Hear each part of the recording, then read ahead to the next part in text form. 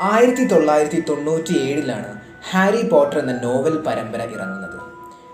ഈ നോവൽ പരമ്പര സത്യം പറഞ്ഞാൽ യു കെയിൽ മാത്രമല്ല ലോകമെമ്പാടുമുള്ള ജനങ്ങളെ എല്ലാവരെയും വളരെയധികം ആകർഷിച്ചിട്ടുണ്ട് സ്വാധീനിച്ചിട്ടുണ്ട്.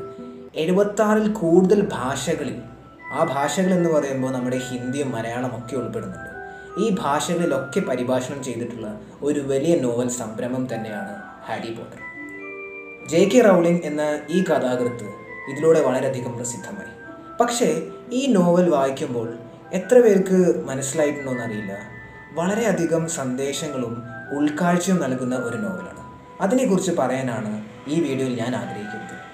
ലെറ്റ് സ്റ്റാർട്ട് ഹാരി പോട്ടർ എന്ന നോവൽ പരമ്പരയ്ക്ക് ശേഷം ഇറങ്ങിയ രണ്ട് നോവലുകളാണ് fantastic beasts where to find them എന്ന നോവലും fantastic beasts the crimes of Grindelwald ഇതിന്റെ രണ്ടാം ഭാഗമാണ്.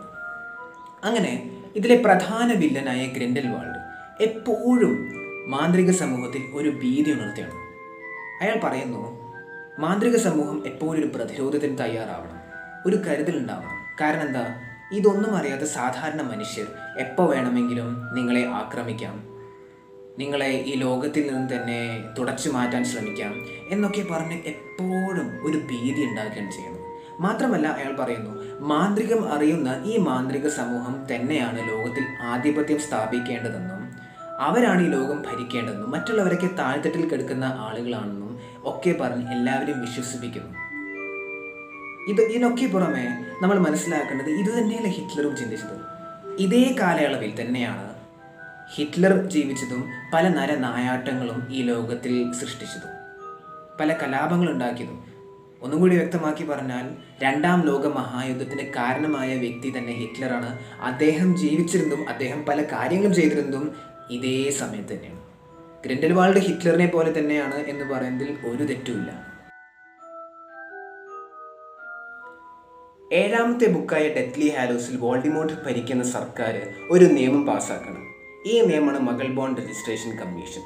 ഈ നിയമം പ്രകാരം നുഴഞ്ഞുകയറ്റക്കാർ അല്ലെങ്കിൽ സാധാരണ മനുഷ്യന്മാർ എന്ന് വിശേഷിപ്പിക്കുന്ന വോൾഡിമോട്ടിന്റെ പ്രസ്ഥാനം അവർക്ക് എങ്ങനെ മാന്ത്രികവിദ്യ ലഭിച്ചു?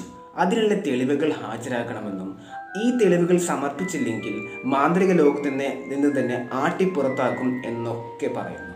പിന്നെ നമുക്കറിയാം അതിൽ ഈ പറയുന്ന സാധാരണക്കാർ അല്ലെങ്കിൽ മകൾ ബോൺസ് എന്ന് ഹാരി പോട്ടറിലുടനീളം വിശേഷിപ്പിക്കുന്ന ഈ ആളുകൾ വളരെയധികം പ്രതിസന്ധിയിലാണ് അനുഭവപ്പെടുന്നത്. പലരും പിന്നെ കാടുകളിലും നമുക്കറിയാം ഡീൻ തോമസും പിന്നെ ഹെർമൈനി ഗ്രേഞ്ചറും ഒക്കെ നമുക്ക് ഉദാഹരണങ്ങളാണ് അവരൊക്കെ കാടുകളിലും മറ്റ് സ്ഥലങ്ങളിലൊക്കെ പോയി ഒളിക്കുന്നു.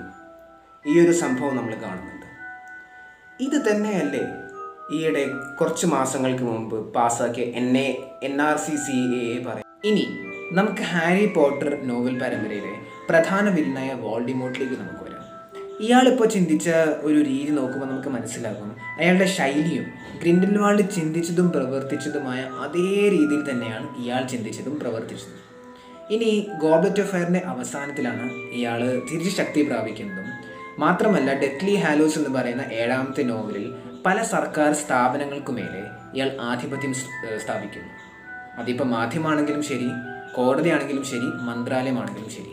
താൻ പറയുന്ന രീതിയിൽ താൻ ചിന്തിക്കുന്ന രീതിയിൽ മാത്രം കാര്യങ്ങൾ നടന്നാൽ മതി എന്നൊരു ധാഷ്ട്യം എന്ന് വേണമെങ്കിൽ നമുക്ക് പറയാം. ഈ ആധിപത്യത്തിന്റെ ഒരു ഫലം എന്ന രീതിയിൽ നമ്മുടെ മനുഷ്യ സമൂഹത്തിന് വേണ്ടി തന്നെ പ്രവർത്തിക്കുന്ന പോരാടുന്ന ഹാരി പോട്ടർ ഒരു വാണ്ടഡ് ക്രിമിനലായി ചിത്രീകരിക്കപ്പെടുന്നു. അൺഡിസൈറബിൾ നമ്പർ വൺ ഏറ്റവും വാണ്ടഡായ ക്രിമിനലാണ് നമ്മുടെ ഈ ലോകത്ത് എന്നൊക്കെ ആളുകൾക്ക് മുന്നിൽ സമർപ്പിക്കുന്നു. നമുക്കറിയാം ഇന്നത്തെ ഇന്ത്യയിൽ എത്രത്തോളം സാമ്യമുണ്ട് ഇതൊക്കെ? നമുക്കറിയാം ഈ ദേശദ്രോഹി എന്നൊക്കെ ഇപ്പോൾ വളരെയധികം ഉപയോഗിക്കുന്നൊരു പദമാണ്. അതുപോലെ തന്നെയാണ് ഇത്. മാത്രമല്ല ഈ വോൾഡിമോട്ട് മാധ്യമങ്ങൾക്ക് മുന്നിൽ പല വസ്തുതകളും വളച്ചൊടിച്ച് സമർപ്പിക്കുകയാണ് ചെയ്യുന്നത്.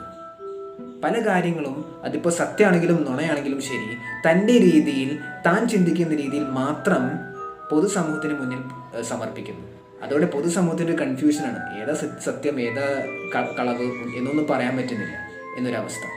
ഇത് തന്നെയല്ലേ നമ്മുടെ ഇന്ത്യയിൽ ഇപ്പോൾ സംഭവിക്കുന്നത്. നമ്മളെല്ലാവരും ചിന്തിക്കണം. കാരണം ഇതൊക്കെ ചെന്നെത്തുന്നത് വളരെ വലിയൊരു അപകടത്തിലേക്കാണ് എന്ന് ഒരു സംശയമില്ല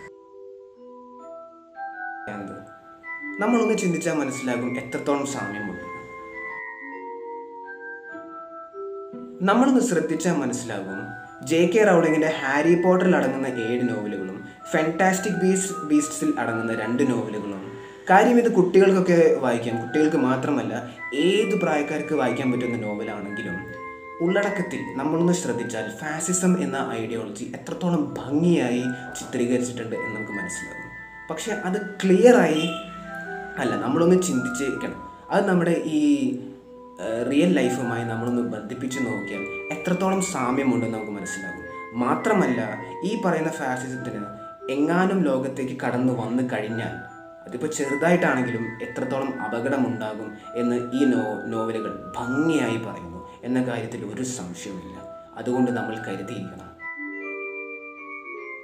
തീർച്ചയായിട്ടും ഹാരി പോട്ടർ അടങ്ങുന്ന ഏഴ് നോവലുകൾ എന്തായാലും നമ്മൾ വായിച്ചിരിക്കണം. നമ്മളിൽ പലരും ഒരുപക്ഷെ പുസ്തക വായനയോട് അത്ര വലിയ താല്പര്യമില്ലാത്ത ആളുകളാകും. ഒരുപക്ഷെ ഹാരി പോട്ടർ ഒന്ന് വായിച്ചു തുടങ്ങിയാൽ നമുക്ക് പുസ്തക വായനയോട് വളരെയധികം ഇഷ്ടം തോന്നും.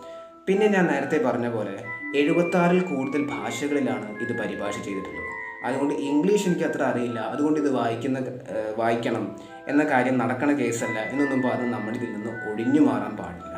തീർച്ചയായിട്ടും നമ്മൾ ഒരു പ്രാവശ്യമെങ്കിലും ഈ ഏഴ് നോവലുകൾ വായിച്ചിരിക്കണം. വായിച്ചാൽ മാത്രം പോരാ. നമ്മളൊന്ന് ചിന്തിക്കണം. നമ്മുടെ ഈ ഒരു സമകാലിക വിഷയങ്ങളിൽ എത്രത്തോളം സാമ്യമുണ്ടെന്ന്. ഇതൊക്കെ പറഞ്ഞ് ഞാൻ ഈ വീഡിയോ നിർത്തുന്നു. തീർച്ചയായിട്ടും നിങ്ങളെല്ലാവർക്കും വളരെയധികം നന്ദിയും പറഞ്ഞു.